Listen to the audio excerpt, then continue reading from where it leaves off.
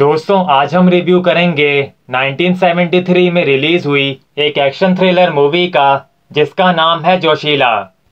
और इस मूवी की लीडिंग कास्ट में मौजूद हैं देवानंद, हेमा मालिनी, राखी गुलजार, परान, बिंदु, मनमोहन कृष्णा, पद्मा खन्ना ए के हंगल, सुधीर, रूपेश कुमार और इफ्तार इसके अलावा इस फ़िल्म को डायरेक्ट किया है यश चोपड़ा ने और इस फ़िल्म के प्रोड्यूसर हैं गुलशन राय। अब बात करें इस फ़िल्म की कहानी के बारे में तो इस कहानी की शुरुआत होती है शालिनी नाम की एक खूबसूरत पोइटस से, जो जेलर यानी मनमोहन कृष्णा की बेटी है। और शालिनी के इस किरदार में हमें हेमा मालिनी दिखाई देंगी। और फिर कहानी अपना असल रुख तब लेती है, जब शालिनी की मुलाकात होती है जेल के एक कैदी अमर, यानी देवानंद से, जो खुद भी एक पोइट है। और फिर शेर व शायरियों से भरी मुलाकातें इन दोनों के बीच की करीबी बढ़ा देती हैं, जिसकी वजह से अमर और शालिनी एक दूसरे को चाहने लग जाते हैं।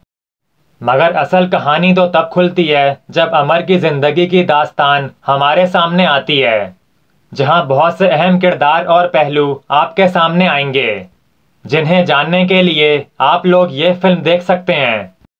अब बात करें इस फ़िल्म की डायरेक्शन के बारे में तो डायरेक्टर यश चोपड़ा की काबिलियत से तो हम सब वाकिफ ही हैं।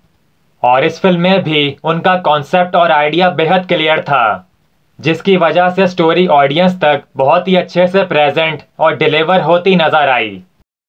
और स्क्रीन प्ले राइटिंग के हवाले से देखें तो फ़िल्म का फ़र्स्ट हाफ़ स्टोरी और करेक्टर्स बिल्डअप में थोड़ा ज़्यादा वक्त ले लेता है, जहाँ फ़िल्म का फ़र्स्ट हाफ़ ऑडियंस को 25 से 30 मिनट्स के बाद ही कनेक्ट कर पाता है। और फिर फ़िल्म के पूरे सेकंड हाफ़ में स्टोरी काफ़ी हद तक एंगेजिंग फैक्टर क्रिएट करने में कामयाब होती नज़र आती है। इसके अलावा फ़िल्म में हमें काफ़ी शानदार शायराना डायलॉग्स और पंच लाइनर्स भी सुनने को मिलते हैं, जो इस फ़िल्म का एक प्लस पॉइंट साबित होते हैं।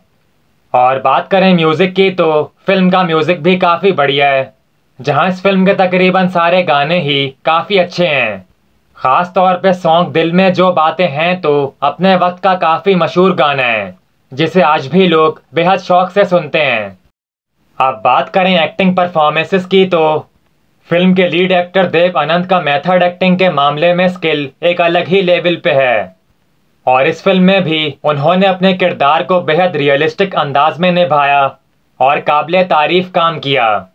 इसके अलावा हेमा मालिनी की बात करें तो उन्होंने भी हमेशा की तरह बेहद शानदार काम किया और वो काफ़ी खूबसूरत भी नज़र आईं। और बात करें प्राण की तो उन्होंने भी एक अच्छा करेक्टर रोल निभाया और हमेशा की तरह टॉप क्लास परफॉर्मेंस दी।